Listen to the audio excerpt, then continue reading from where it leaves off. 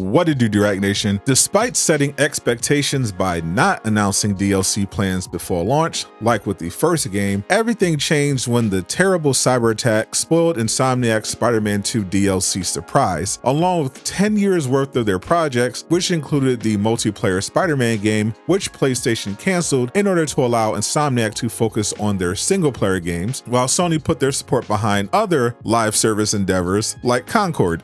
Not a great plan. This unfortunately resulted in months of constant inquiries from fans that became increasingly toxic as they wondered what was taking Insomniac so long to release their already exposed DLC, as if they were unaware or simply didn't care that everything at the studio was delayed while they tried to secure their network and the lives of their employees who had their data leaked to the dark web, while getting out the content they actually promised, like the delayed New Game Plus update they decided to expand on, and Marvel's Wolverine which they are contractually obligated to release and now have to scramble to rework and complete after almost everything about the game was shared by the hack. There was at some point speculation that maybe there was no DLC anymore, but that quickly disappeared when the New Game Plus update accidentally gave players access to developer tools which allowed them to alter the game and get a preview of a planned DLC expansion based on the villain Beetle. And with Insomniac responding to questions about the story DLC with the exact same answer they give about all their upcoming updates before they're allowed to talk about them, instead of giving a hard yes or no like they did about theories Eddie Brock would be Venom, that confirmed the DLC was still very much coming, they just weren't finished with it yet. After all, why would Sony, a company notorious for liking money, as evidenced by the price of the PS5 Pro, Hello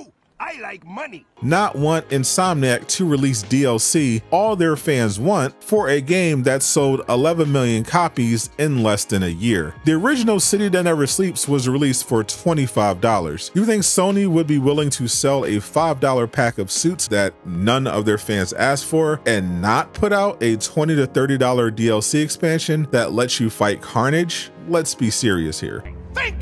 That just left the question of when would be the perfect time for Sony to make it official. Many thought it would be the September State of Play, where Sony continued to promote the PS5 Pro, but instead of closing the show with Insomniac, it was Sucker Punch stepping into the spotlight with the reveal of Ghost of Yotei, the highly anticipated follow-up to Ghost of Tsushima. This led to some fans thinking Insomniac skipping the State of Play meant there was no DLC, but it shows the opposite. Remember, Insomniac skipped the February State of Play, which focused on Final Final Fantasy VII Rebirth, even though they had a New Game Plus presentation ready to go and instead waited until the next day so Final Fantasy would have all the attention. The actual perfect time for them to announce the DLC is coming up soon though. Insomniac already confirmed they would be releasing a free PS5 Pro update, which will roll out with the launch of the PS5 Pro on November 7th. Their upcoming Marvel's Wolverine was also confirmed to be utilizing the power of the new console. Now, as Insomniac reminded us, their one year anniversary is coming up soon. Spider-Man 2 was released on October 20th, 2023. That's only about three weeks away and happens at the end of New York Comic Con. That is the perfect time to announce the Spider-Man 2 DLC and have it out by the launch of the PS5 Pro. The idea that a year after launch is too late to drop DLC has been a pretty silly talking point I've seen thrown around, which gets even more ridiculous when you remember God of War Ragnarok revealed a DLC expansion at the Game Awards in December, a month after after their own one year anniversary, despite straight up telling their fans not to expect any DLC. As of October 1st, Insomniac still won't confirm or deny their DLC plans, which tells me, as usual, the correct move is patience. Outside of the DLC, there is plenty to look forward to. Not only does Insomniac have Marvel's Wolverine and Marvel Spider-Man 3 in development, they've officially started working on another superhero game. Click the video on screen to learn more.